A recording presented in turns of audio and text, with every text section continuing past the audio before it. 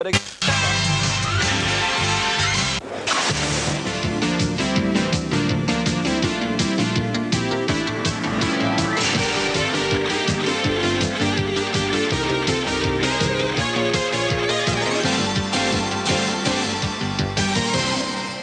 And a very good afternoon, everyone. Welcome to Grandstand on this Saturday afternoon here in Melbourne. And we have a big day of racing in front of us, covering the meeting from Sandown, of course, here in Melbourne. And we also have racing from Sydney, where it's a big day. Sydney Cup Day up there. They've had plenty of rain but uh, still a very big day of racing. And also the meeting from South Australia this afternoon at Victoria Park. And we'll be taking you right through until 5 o'clock, also keeping you up to date with what's happening in the football today right throughout the afternoon. So we hope you can stay with us here on Grandstand right through until 5 o'clock this afternoon. Well, as uh, scratchings to report, in fact, five for the program. From the first event, there are no scratchings and race two is also clear. Now, race number three, a late scratching of number five, and that is True Gint. Number five, True Gint, out of race number three. Race four is clear. The Sandown Country Cup race five take out one Drury Sun and four Nakundra, one and four. Race six take out number 14 Blackjack Lady. Race seven, the scratchings are eight Beatrice Levette and 14 Charlie's Price. And the final event on the card and here there are no scratchings and a full field of 13 to face the starter. Now, the first event, as I said, from... Lights on, they're off and racing. They broke as one. Bayside Princess dropped out to the back of the field shortly after the start. Broadway Bound began quickly with Nam Nan Pros and Pop Artist got up on the inside. Now, Highland's going to go to the front on Broadway Bound, the favourite, and she's galloped freely to the lead to lead out a length and a half to Pop Artist. Three quarters further back now, a length off is Nam Nan Pros as he stacks them up in front. Then over on the inside is Rivetta. They're followed by Carringbush Lass. Around the outside of it goes Lachelle. Last of all, back along the inside inside Bayside Princess. Around the turn of the 950, Broadway bound found Carringbush Lass whipping around the outside with a lightning move, and she went to the front, Carringbush Lass by a length, and second placing Broadway bound came away from the rail.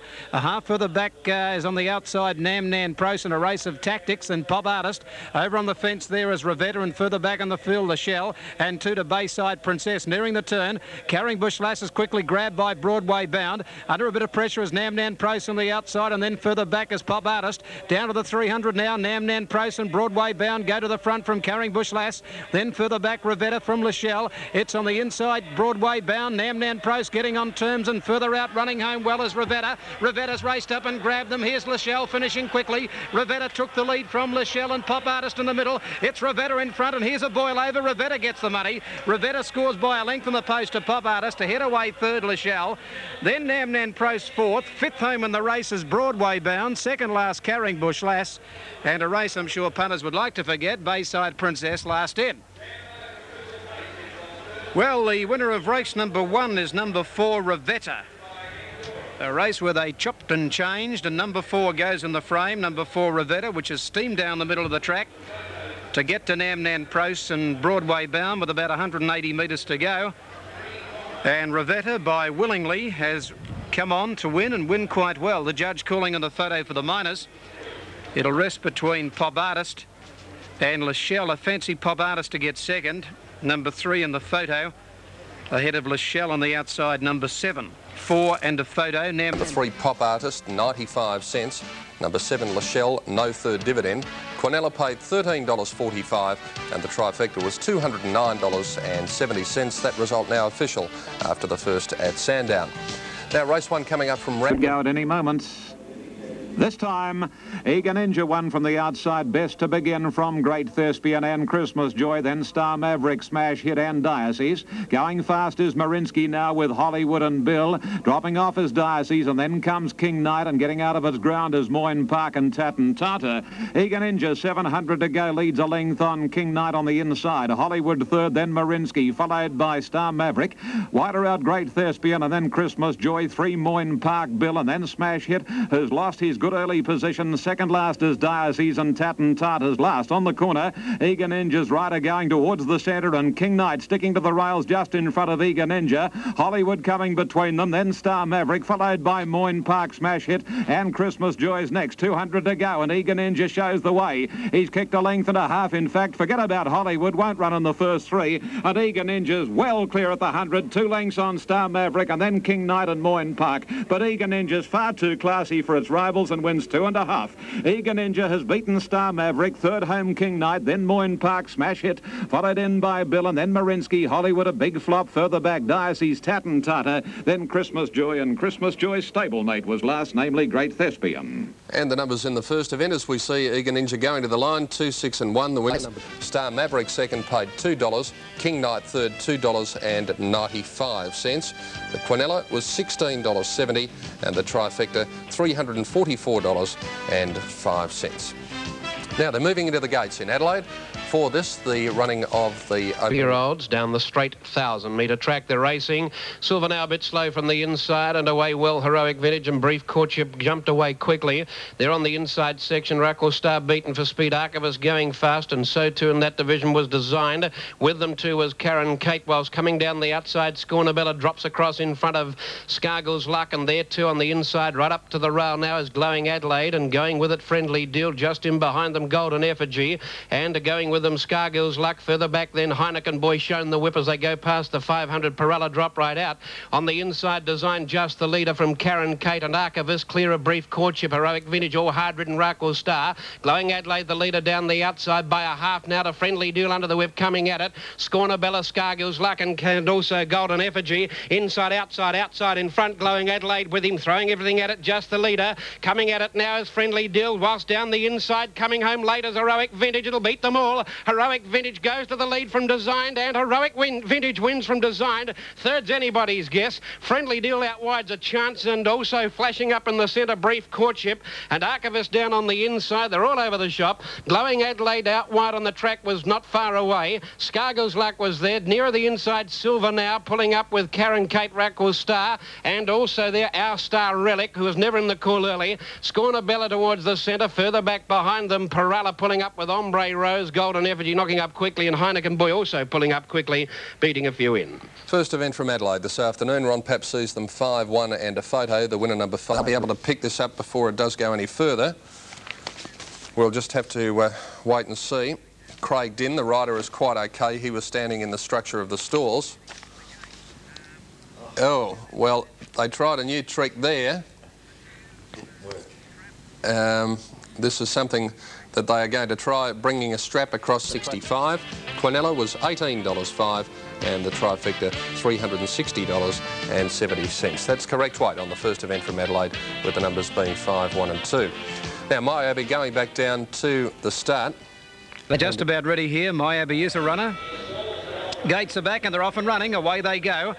And one of the best away is Mr. Marmaduke. Jumped out quickly on the outside. Aurora Peak is quickly up looking for the lead settling down. My Abbey settle in behind them. Doug's hoping our change of luck are further out. Aurora Peak just led up on the outside, moving to it pretty quickly now as our change of luck. And they're followed by Doug's Hope. It'll get into the box seat. Celtic Spirit's gone up fourth. He can nearly get in there to be one out and one back virtually if he kicks up. They're followed by Abbey. Now Barrett's one off the fence on the favourite. A length to Monmatic. Mr. Marmaduke from Vamp's Choice and further back God's Girl, and last of all is a Comley uh, Lady going by the winning post. 1,800 metres to go. Aurora Peak led. Led nearly a length to our change of luck, and Doug's Hope third on the inside of the favourite Celtic Spirit. There followed two or three lengths away by My Abbey, a length for the back Monmatic, and over on the inside Mr. Marmaduke. Outside at Vamp's Choice, two lengths for the back God's Girl and two to Comley Lady. 1,600 to go. To the back they race. There's no pace, and the leader is Aurora Peak by over a length, and second placing our change of luck. Doug's Hope settled down nicely third, a length to Celtic Spirit travelling okay fourth. One off the fence, two lengths for the back, Abbey and Monmatic. A length then to on the outside, Vamp's Choice. On the inside of it, Mr. Marmaduke and two to God's Girl and Comely Lady. 1300 to go down the back, Aurora Peak led. Only about a head in front of our change of luck, which is on terms now. A length and a half to Doug's Hope. Moving up, Celtic Spirit on the outside. Barrett's going to go up and try and put Harry into a pocket back on the rail. A length and a half to Vamp's Choice, followed on the inside by My Abbey. Then Monmatic, a length Comely Lady, followed by Mr. Marmaduke. Marmaduke and last of all God's Girl. A thousand to go, turning off the back out change of luck and deck in front of Aurora Peak. A length and a half Celtic Spirit ahead further back on the fence Doug's Hope fourth. Two further back Vamp's Choice being shaken up and then came My Abbey. Then Monmatic and a gap to Comley Lady and God's Girl and Mr Marmaduke. Off the back and the leader out change of luck got two in front. Celtic Spirit went to second. Aurora Peak is third. A length further back Vamp's Choice. Uh, then White waiting for a run on Doug's Hope and three lengths further back My Abbey and Monmatic. Nearing the turnout change of luck. 500 to go. A length and a half in front of Celtic Spirit. He hasn't called on the favourite yet. Then Aurora Peak followed on the outside of them by Vamp's Choice. Doug's Hope now getting out as Celtic Spirit travelled to the front. 300 to go. Celtic Spirit put its head in front of her on the inside out change of luck. Who's fighting on and then Vamp's Choice and Doug's Hope is under the whip and the others are struggling. Celtic Spirit got to the front clearly at the 200 metre mark. Barrett went for home. It kicked about a neck in front of our change of luck fighting back. Two lengths then Monmatic coming home late. Celtic Spirit just the leader from on the inside out change of luck and Celtic Spirit will get home. One at a neck to our change of luck. A length and a half Monmatic third. God's Girl has run fourth and then Doug's Hope followed by Aurora Peak Vamp's Choice. Then further back in the field came at the head of the others My Abbey. Then Comely Lady and last of all is Mr Marmaduke. Good battling win here. And placing to number five, our change of luck, and third, number eight, Montmatic. And the dividends are $1.20, 65 cents, $1.40 and a $1 even. The Quinella paid $5.95. The trifecta on race two, $48.20. And the first running double at Sandown this afternoon paid $22.30. Well, that's a test opening up. So let's go to Ian Craig for the second event. Space Power straight to the lead from Winner's Intent. Ascot Lane, the third, then Jack's getting up on the inside. Wider is the Grey Laskin Galaxy. A length and a half then coming Kalani's pick inside. Prince Toranaga pushed along a little in the early stages. Four or five lengths then Persian Port, Wetu Taru, followed by Warned and last Jabba Hut. Onto the course proper, a thousand to go, and the leader is Space Power. A half length on Laskin Galaxy, one and a half Winner's Intent. Then comes Jack's on the inside inside from Ascot Lane. The widest runner, Prince Toranaga, then Kalani's pick. Still about four lengths to Persian Port. Then comes Warned. Second last Jabba Hut and three or four Wetu Taru. Down towards the 600 metres. Not a lot of change in the order. Space Power a half length clear on Laskin Galaxy. Very deep out Prince Toranaga. Then Ascot Lane. Kalani's pick. Winner's intent. Jack's hugging the rails and then comes Persian Port followed by Warned. A long margin Jabba Hut and last is Wetu Taru. Around the corner they come. Most of the jocks heading out to the centre of the track. By the inside boy, and that is the rider on Jacks. And Jack's the old bloke just leads from Laskin Galaxy again heading it. Prince Toranaga and Ascot Lane are right down the outskirts and Winner's Intent between them. Now as they come to the 200 metres, Ascot Lane the leader. Winner's Intent goes after Ascot Lane. A race in two. Ascot Lane in front. Winner's Intent a half length away and then Kalani's pick. But Ascot Lane is holding Winner's Intent. Then Kalani's pick and Ascot Lane wins nearly a length. Winner's Intent second. Third Kalani's pick, followed by Warn, Prince Toranaga, Persian Port Jacks, Laskin Galaxy, Wetu Taru, Jabba Hut, and Space Power near enough to last. Ian Craig sees them 4, 7 and 6 and the Victorian Galloper, Ascot Lane, number 4, was the winner of the second event in Sydney, second placing to number 7, Winner's Intent, and third number 6, Kalani's pick, Johnny Marshall, the winning rider, 4, 7 and 6 on race number 2 in Sydney. Now the third... $6.70 and the trifecta was $63.85. Now the scene in Adelaide up at the gates there, they're moving into the stalls for the running of race two, the second red metal handicap perhaps. They're racing. Rest jumped away very quickly near the inside ahead of Calibre, Calabrasella. Lockley zero away well. Dance to more and also showing some speed Golden Cafe. In behind them Spires. Out deeper on the track going there is a gallant uh, effort. Now down the outside Placid Angels towards the centre with Magic Lips and also Lesma Supreme Jack Remark and in that group too as they link up to the course proper now running to the 600 metre metre mark, uh, showing some spade, uh, speed there was Lady Loot. They're right across the track again. Out wide on the track, the clear leader is Lesma. From uh, in behind them, Supreme Jack and also their Lady Loot, followed then by Remark. On the inside section, the leaders are Dance to More Rest, and on the inside of them in turn came Calabrasella. They're five in front of Lockley Zera, and further back in the field behind them, Deciduous and Co. But in two divisions, it's now drawing to the lead, Dance to More racing erratically. He produces the whip. Calabrasella comes at it. Clear of rest on its own down the outside. Lesma clear there. But Dan Dance Demore, though erratic, wins it by a half three quarters to Calabrasella Rest and Dance, and then out wider on the track was Lesma. Uh, following it up out there, Lady Luta, Supreme Jack ahead of it, and then Remark. They were really the only four that came down the outside section. Back towards the inside, behind those then came uh, Deciduous, further back Lockley Zera, Magic Lips. Uh, Right, the numbers are 12, 11 and 16 as called by Ron in that long... Put well back to beat it. Racing broken a pretty good line too. One of the first out Melbourne zone with acid test. Tristram Court has begun okay out wide and getting up on the inside, settling down up towards the lead here is Talingo. Talingo headed off by Melbourne zone and in the centre there acid test. A half Alunda Sands gone up third. Fourth on the inside Talingo and then Tristram Court a little wide around Super Pearl. Further back then Stock Take followed by Brigand Star and a couple of lengths further back in the field is Special Ming with Killerton last of all Pacific Heights.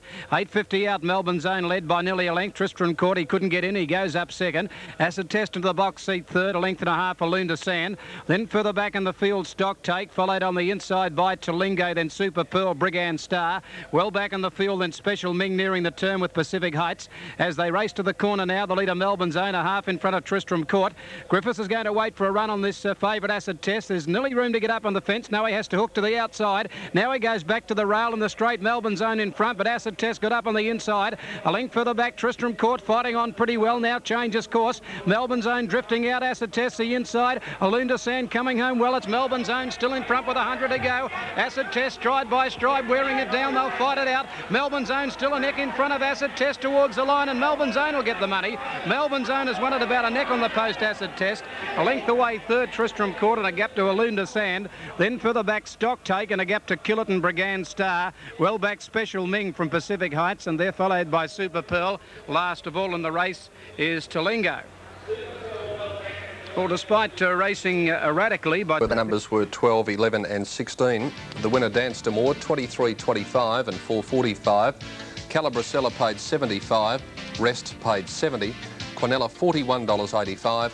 Trifecta, $569.25. The official result of the third in Melbourne with correct weight, number three, Melbourne's own, $2.30 a win, 75 cents for the place. Number one, Acid Test paid 50. Two, Tristram Court paid 70. Quinella, $2.15. Trifecta, $13.45. Running double, a dividend of $9.60. Now, our next event, we will for this. Thrills. So here's Ian Craig now. Off Tats Road got the best of the start away. Well was Bayonet going to the lead. Paris weekend nicely out, and so too was going up quickly Nanutara. Nightcap not far back, wide Sun Balloon, and then Tour of Duty and Great Distance, a length to Carlos and Gallery Star, followed by Nakimi Tomomi, and on the inside next is Distant Fields, and then Twig in Vain. Well back is Diploma, and last of all Fiery Reason. A compact field at the thousand, and Bayonet a length clear on Paris weekend. Sun Balloon third, then Nanutara Uh, followed closely by Multiflex Gallery Star. Then great distance off the track is Tats Road. Getting up on the inner next is Distant Field from Tour of Duty. Then Carlos Twig in Vain, followed by Takimi Nozomi.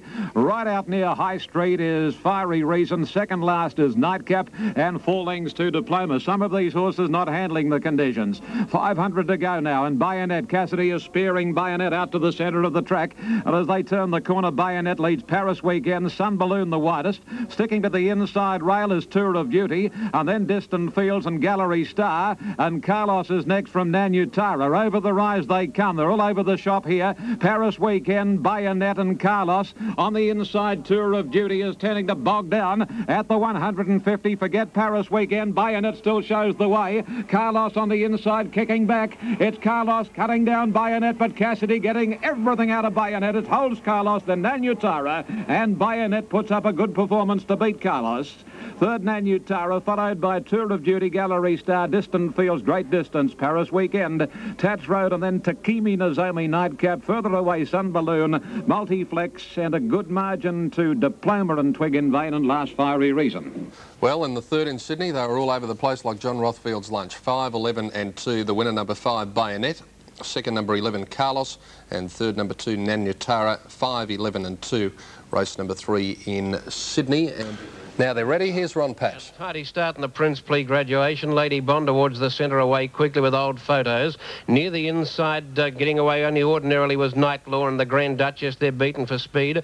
Just in behind that group two on settling down now is Mr. Explosion working up to them. Out wide Afari's image, Bakara showing speed with Burgundy Kingdom, Jervois, Max State of Man, Sleepy Seymour just behind them. And three away behind those came Regal Meadow. They've linked up onto the course proper and here the leader old photos from Lady Bond. Three in front front of Fluorescence, and then came the Grand Duchess. Two and a half further back, and niggled at Mystery Explosion, not relishing it. On its inside there is the Bolt of Night Law, and further back, Born Vain, not travelling well with Bold Imagination. Burgundy Kingdom's gone to the lead out wide with Jervois. Max Sleepy Seymour's getting at them now. They're across the track where it's old photos, Burgundy Kingdom, but Sleepy Seymour out wide is coming home like a train. Sleepy Seymour goes after old photos and Burgundy Kingdom. Old photos still in front, and she wins. Old photos from Burgundy Kingdom. Sleepy Seymour couldn't pick them up. Jervois Mac and out wide on the track behind them, State of Man, Fari's Image, Regal Meadow. Back towards the inside, Mr. Explosion didn't do a great deal. Uh, pulling up behind them with Night Law, Born Vain, and then the Grand Duchess, Fluorescence, Lady Bon, and a Bold Imagination and Bakara in that group. Numbers 9, 3 and 15 as called by Ron. Number nine, Old Photos, the winner. Light comes on. They're ready and they're racing, and they came out in a fair line, although the favourite quickly dropped out to the back of the field, Captain Police. Something stunning bounced to the front and led by a length to Lonely Dreamer, settling down a length and a half for a half Aberiti. First strategy on the inside of Indeed I Do, two to Jewel Planet, two to Be and Jolly, and the favourite last of all at the 1,000 metre mark, and now he's gone up second last, and that's Captain Police. Something stunning bowling along around that turn by a length and a half for a neck further back, Lonely Dreamer. Two to Aberiti, two further back, Indeed I Do, a length and a half first strategy, and then Dual Planet. Two or three then to the favourite Captain Police, about 10 lengths from the lead and four lengths to the stayer, last of all, being Jolly. 650 out, the leader, something stunning, got away two lengths in front. Lonely Dreamer on the inside of Briquillo, a length and a half, Aberiti, two to Indeed I Do. Then first strategy, Dual Planet, Captain Police being east to the outside, but he's a fair way off them. 350 out on the straight, they race something stunning, about a half length in front of Lonely Dreamer and Briquillo. They're coming at him from both sides. They're clear of Aberiti.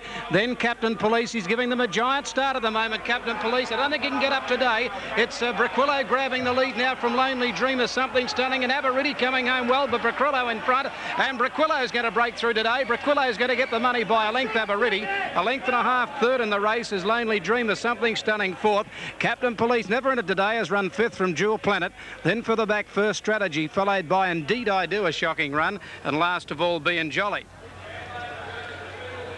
Simon Marshall, two race four with the Melbourne zone. And Briquillo creeping down on the weights today. Uh, and uh, he has scored from Aberiti, which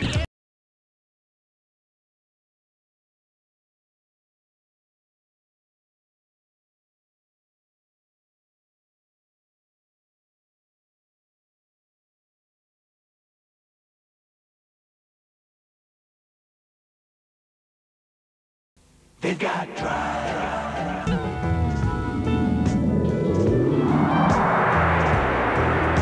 Righto, time for our first live race on Sydney Cup Day, the all-age stakes at Randwick. One of my favourite gallopers, that dashing chestnut campaign king, goes around again as a hot favourite. And Johnny Tapp, if he wins again today, that'll make it uh, 21 from 42, 50% uh, winning record. That is quite useful, old son. Mike, it's uh, very unusual. Uh, not many horses in turf history can boast a winning ratio of 50%. Happens sometimes uh, with the champion Pacers. I think Hondo Grattan at one stage was running pretty close to that ratio, and so too was his famous contemporary Paleface Adios, but it's uh, quite rare amongst the thoroughbreds. He's been a super horse. His prize money tally is one million and twenty-two thousand. Today's race, uh, today's race is worth two hundred thousand dollars, Ken. So it looks like a bit more is going to jump into Kitty.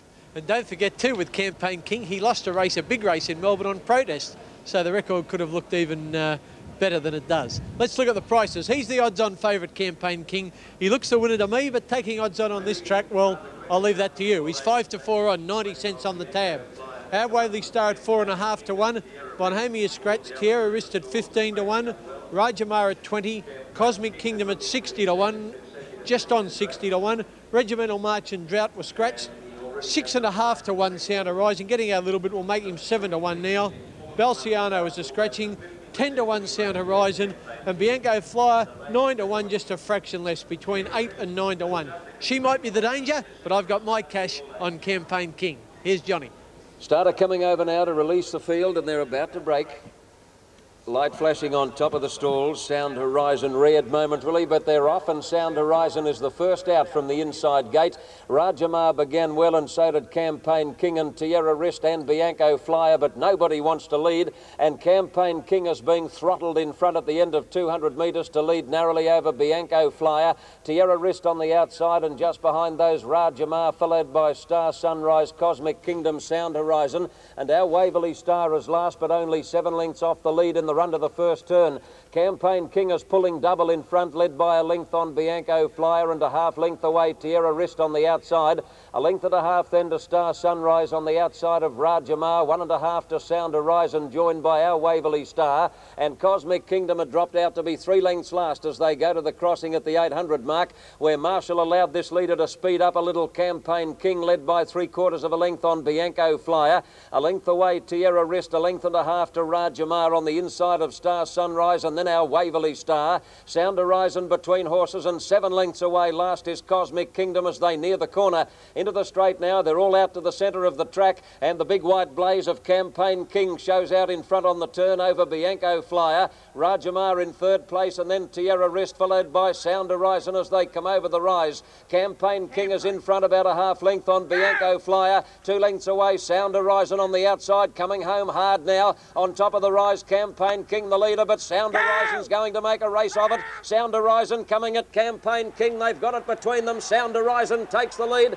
Campaign King can't find any more, and Sound Horizon is drawing away. And there's a surprise in the All-Age Stakes. Sound Horizon, runner-up in the Doncaster, wins the All-Aged over Campaign King with Rajamar third. Then Bianco Flyer, our Waverley Star, Star Sunrise and Tierra Wrist. And tailed off in the race was Cosmic Kingdom. Sound Horizon has won the All-Age Stakes following his excellent second in last Saturday's Doncaster Handicap. Sound Horizon, number nine, written by Nigel Tiley on the TAB to pay $4.10 and 85 cents the place. Campaign King, 60. And uh, in third place, was it Rajamar we call third? Yes, he'll be third, Rajamar. Ken, he'll pay $1.85. Yes, John, no excuses for the favourite. Just that Sound Horizon handled the heavy track better. Now he goes to the lead, and well, uh, it's rather incredulous to see them all get so wide at Randwick, but it's just that that part of the track's better. And Sound Horizon got even wider than Campaign King, and he went home better too. And he's won by about a length and a half with Rajamar, a fairly similar distance away in third placings. No excuses, the winner was too good on the wet track. He's a pretty good horse. He's won an Epsom and run second in a Doncaster, and now he's a victor in an all-age stakes. Okay, that was the story of the All-Age Stakes Race 4. Race 5 is the first leg of the Daily Double. It's the Sydney Cup. I think that the Bart Cummings stable and John Marshall will get their revenge here with TAB number 6, the Bonnie Mare, round the world. Trainer Paul Sutherland, who has the winner Sound Horizon, is uh, thoroughly deserving of success in a Group 1 race because his horses have been running second in everything over the carnival. This horse ran second in the Doncaster. Brixton Town, trained by Sutherland, ran second in the Derby, so it's a welcome change of luck for him. Sound Horizon, winner of last year's Epsom, runner-up in last Saturday's Doncaster, and thoroughly deserving of today's win. Brilliantly ridden by Nigel Tiley, and Sound Horizon is a brown gelding, a four-year-old by Sound Reason out of New Horizon, and is about to be led back to scale by a group of very happy owners, Mr. E. Blancato, R. Murdaka, P. Spazzaro, B. McGeorge, Miss Pat Wheatley, and also J. Deans are the owners of this very good galloper, Sound Horizon, coming back to scale after his win in the Group 1 All-Age Stakes. And uh, the totes officially $4.10 and, a, and 85 cents the place, 60 the second, and $1.85 for third. And they're the placings in the all-age stakes of 1988. And as Ken said, what an eerie sight it is to see the whole field charging down the outside fence. And that's the way it'll be